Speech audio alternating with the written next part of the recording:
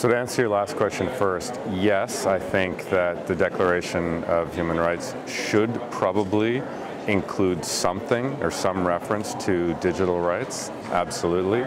In terms of how do we gather people together to discuss these issues, I mean, I think the Internet Governance Forum is one of the prime vehicles for that because it brings in many different governments, many different intergovernmental agencies as well as various other stakeholders and it provides a place for them to come together and break out of their silos which is one of the biggest challenges in our industry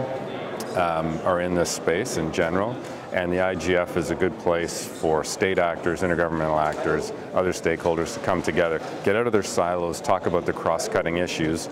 whether they be human rights or Internet of Things. This is a venue that allows for that.